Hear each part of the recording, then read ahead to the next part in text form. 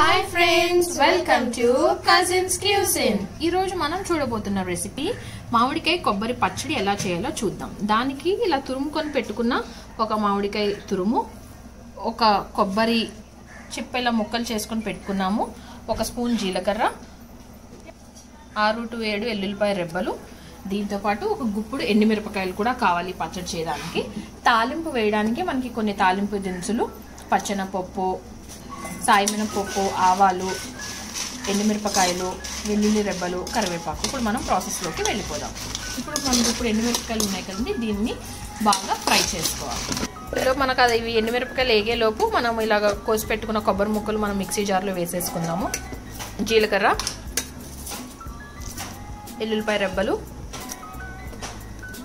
తగినంత ఉప్పు. ఫస్ట్ ఇవన్నీ మనం మిక్సీ తిప్పుకుందాం.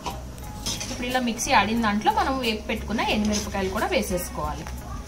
ఇప్పుడు వీటిని కూడా మనం మిక్సీ పట్టుకోవాలి. ఇప్పుడు ఇలా ఇవి కూడా మనం మిక్సీ పట్టుకున్న తర్వాత చెక్క బిక్క ఆడుకున్నాం కదండి దాంట్లో ఇప్పుడు కొంచెం మనం తురుము పెట్టుకున్న మ్యాంగో తురుము కూడా వేసేసుకొని మిక్సీ పట్టుకుందాం. ఇప్పుడు దీన్ని ఇలా మిక్సీ పట్టేసుకున్నాం కదండి ఇప్పుడు మనం ఒక కళాయి పెట్టుకొని తాలింపు వేసుకుందాం. ఫస్ట్ ఎల్లుల్లిపాయ రెబ్బలు దంచుకోండి రెండు వెల్లుల్లిపాయలు పేలుతాయి జాగ్రత్తగా ఉండండి. తాలింపు దినుసులు కూడా వేసి కొంచెం బాగా వేగాక కరివేపాకు ఎండుమిరపకాయలు కూడా వేసి బాగా వేయించుకోవాలి. దీనికి తాలింపు కొంచెం ఎక్కువ నూనె పట్టిద్దండి. కొంచెం అలా మనం కలుపుకొని దాంట్లో కొంచెం చిటికడంత పసుపు వేసుకున్నాము. ఇప్పుడు మనం ఇలా ఆడి పెట్టుకున్న పచ్చడి కూడా మొత్తం తాలింపులో వేసేయాలి. సో దీన్ని తాలింపులో వేసిన తర్వాత వన్ టూ మినిట్స్ దాకా మనం ఇట్లా వేపుకోవాలండి. కొంచెం పచ్చివాసన అనేది పోయింది. అంతే అండి. చాలా టేస్టీగా ఉండే పచ్చడి. With in three to five మినిట్స్లో మనకు రెడీ అయిపోతుంది. అందరూ ఖచ్చితంగా ట్రై చేయండి. ఇది కొంచెం ఇలా బాగా వేపుకుందాము.